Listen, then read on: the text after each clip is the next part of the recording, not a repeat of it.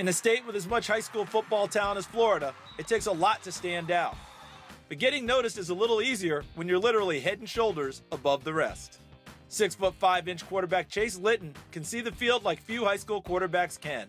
Six five is a very good advantage because now you can see over, you can you can see the field, you can see what's going on. It's tremendous. I, I remember I can't remember the times I've seen other teams' balls batted down and having like a six foot, six foot one quarterback, but um, being six five helps a lot and having a high release point even helps even better. Of course, being tall is only a part of what makes Chase an intriguing prospect.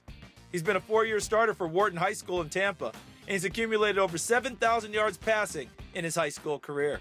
Just watch, you know, his pores and so forth. Uh, watch him how he throws the uh, ball, um, as far as uh, his uh, trajectory, his height, his athleticism, those type of things that made it so well. This, this guy can be a good quarterback.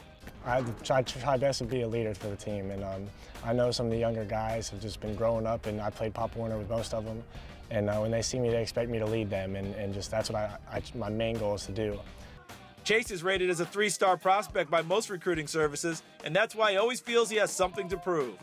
This past summer, when he was up against some of the best in the nation at the Elite 11 camps, he went out and made a statement with a strong performance. When I went to Elite 11, and I just felt that like not a lot of people knew who I was, and and I felt like I, I, should prove to them that I can play with them. And uh, I remember seeing, like, when I first walk in, some five-star recruit quarterback and four stars everywhere. And then, and then I, am sitting there like, okay, so these are the guys I'm to have to compete with. And I just felt that I went in there, chip on my shoulder, confident, and I, I had a great day. And I ended up winning Golden Gun.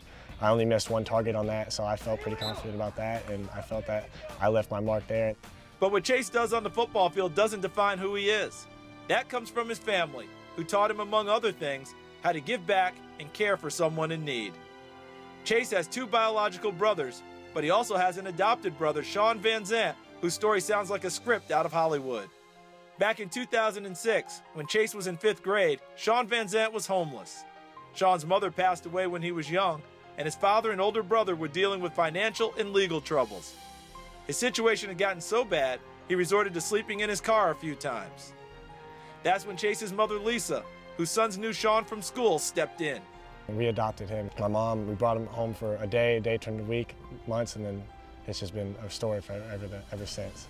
Finally, with a comfortable living situation, Shawn would excel on the basketball court. He would earn a scholarship to Butler University, where he got to go to two Final Fours. And the Litton family enjoyed the whole ride with him. I remember my eighth grade year, uh, I was in a basketball tournament. And um, my mom just starts like jumping up and down in the stands. And, and I mean, it was like a dull moment of the game. And so we just look up in the stands like, what is, what is going on?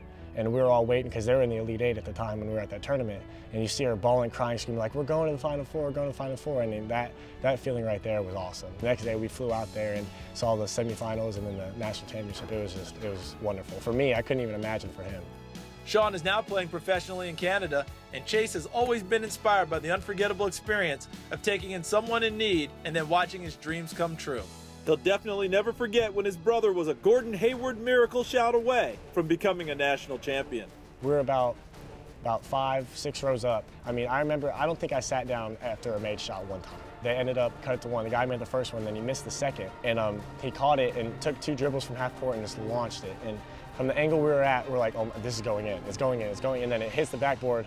And then as soon as it falls off, everyone just like wow, like that was it wasn't like a like let's break down and get upset, but like that was a great game. It was I've never seen a game like that, and the rush and the feeling for that was just awesome. Now Chase is focused on his own dreams. As his career as a Wharton Wildcat winds down, he'll spend the winter making sure he finds the right fit for college. Because just like his family taught him, Chase wants to be a winner in life as much as he does in football. College-wise, I just I just want to go be successful and and go to a school that's more of a 40-year commitment than a four. You have to realize that every, football is going to come to an end, and after that, there's life after football. And so um, I want to go to a school that's going to give me a great scholarship and, and just have a successful four years or three years even, and then just, just go from there and just be happy and, and just be successful on and off the field.